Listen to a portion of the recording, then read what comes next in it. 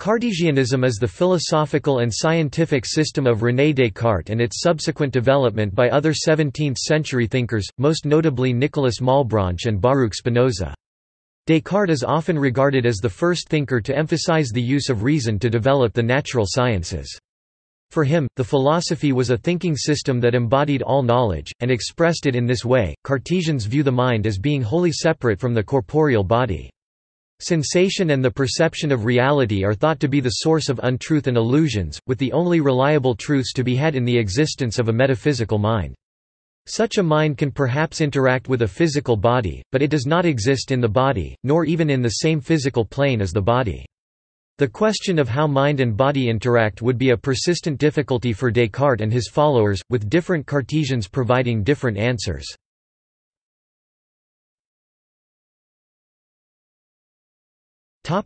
Ontology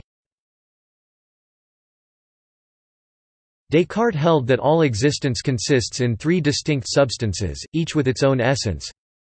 Matter, possessing extension in three dimensions. Mind, possessing self-conscious thought. God, possessing necessary existence.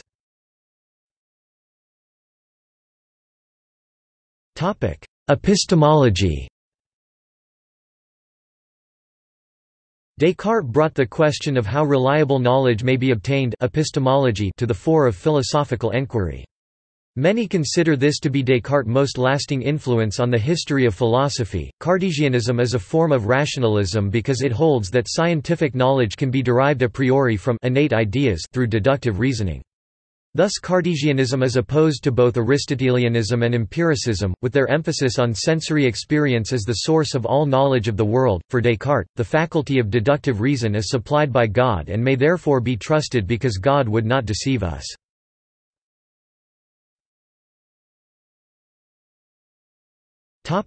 Geographical dispersal In the Netherlands, where Descartes had lived for a long time, Cartesianism was a doctrine popular mainly among university professors and lecturers. In Germany the influence of this doctrine was not relevant and followers of Cartesianism in the German-speaking border regions between these countries e.g., the iatromathematician Yvo Gaukes from East Frisia frequently chose to publish their works in the Netherlands. In France, it was very popular, and gained influence also among Jansenists such as Antoine Arnauld, though there also, as in Italy, it became opposed by the Church. In Italy, the doctrine failed to make inroads, probably since Descartes' works were placed on the Index Librorum Prohibitorum in 1663. In England, because of religious and other reasons, Cartesianism was not widely accepted. Though Henry More was initially attracted to the doctrine, his own changing attitudes toward Descartes mirrored those of the country, quick acceptance, serious examination with accumulating ambivalence, final rejection.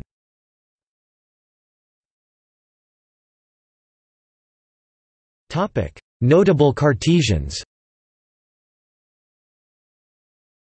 Antoine Arnauld Balthasar Bekker Tommaso Campailla Johannes Clauberg Michelangelo Fardella Antoine Le Grand Adrien Heereboord Nicolas Malebranche François Poullain de la Barre Edmond Pourchot Pierre-Sylvain Regis Henricus Regius Jacques Rohault Christopher Wittich.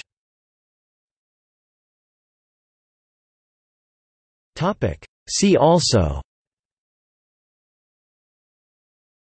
Dualism Meditations on First Philosophy Mentalism psychology Simulism